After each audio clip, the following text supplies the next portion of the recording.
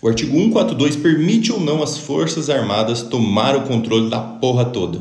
Olha, eu recebi trocentas mensagens pedindo para falar sobre o artigo 142 da Constituição Federal. Então vamos lá. Primeiro vamos ler o que diz o artigo. As Forças Armadas, constituídas pela Marinha, pelo Exército e pela Aeronáutica, são instituições nacionais permanentes e regulares, organizadas com base na hierarquia e na disciplina, sob a autoridade suprema do Presidente da República, e destinam-se à defesa da pátria, à garantia dos poderes constitucionais e, por iniciativa de qualquer destes, da lei e da ordem. Bom, a gente consegue notar ali, pela simples leitura do artigo, três objetivos das Forças Armadas. Quais são eles? Vamos lá. Primeiro, defender a pátria. Segundo, garantia dos poderes constitucionais. E terceiro, garantir a lei e a ordem. Defesa da pátria. Exemplo: se alguma outra nação invadir o Brasil, tal como a Rússia fez lá com a Ucrânia, as Forças Armadas deverão atuar. Garantia dos poderes constitucionais. Um exemplo seria caso um poder tente eliminar o outro.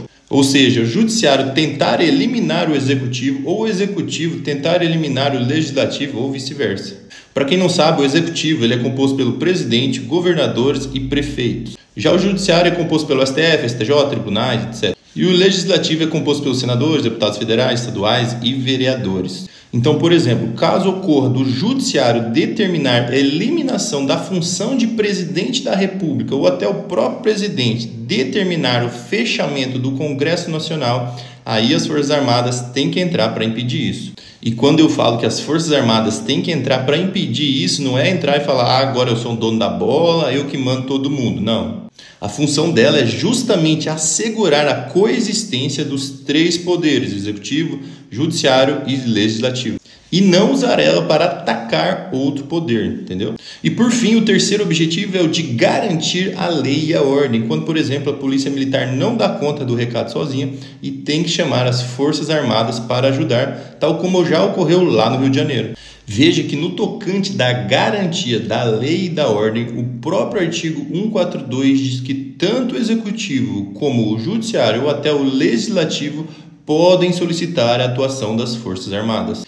Vejam aqui, ó, destinam-se à defesa da pátria à garantia dos poderes constitucionais e por iniciativa de qualquer desses, destes quais poderes constitucionais, da lei e da ordem, entendeu? Então veja que o artigo 142 da Constituição Federal determina os casos em que as Forças Armadas têm que atuar e nenhum deles permite eles assumirem o controle da porra toda, mas justamente o contrário, são responsáveis por garantir a coexistência dos três poderes. Entenderam agora? Abraço.